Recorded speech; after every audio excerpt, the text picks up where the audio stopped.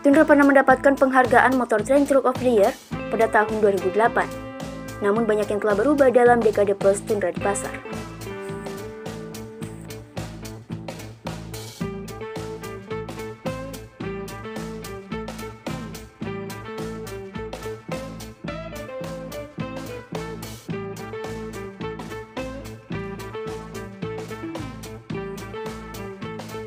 Sementara pesaing yang lebih baru menawarkan mesin turbocharged yang dirampingkan dan transmisi hingga 10 kecepatan.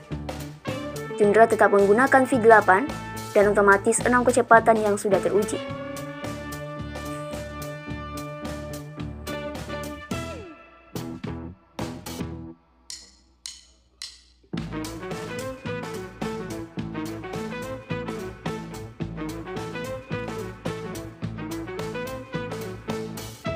Drivetrain ini terasa kuat dan cukup mumpuni, tapi kurang halus dan efisien dibandingkan pesaing yang baru.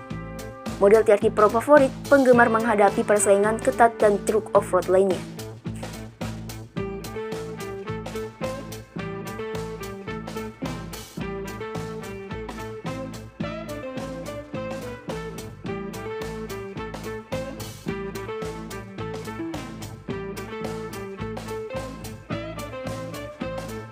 Kabin Tundra luas dan trim kelas atas ditata dengan baik, meskipun truk yang lebih baru memiliki lebih banyak teknologi dan fitur. Fitur bantuan pengemudi seperti kontrol jelajah adaptif disertakan. Tapi sistem itu mati di bawah 25 mph, mengurangi utilitasnya dalam lalu lintas.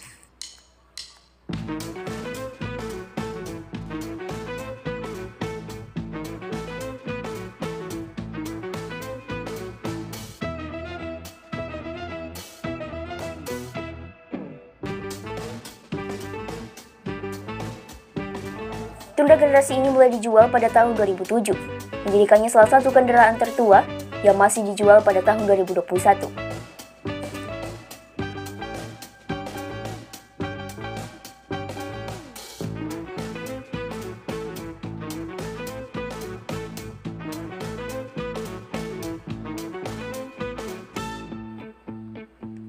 Saatnya untuk mendesain ulang secara penuh, dan kami berharap Toyota akan merilis Tundra generasi berikutnya untuk model tahun 2022.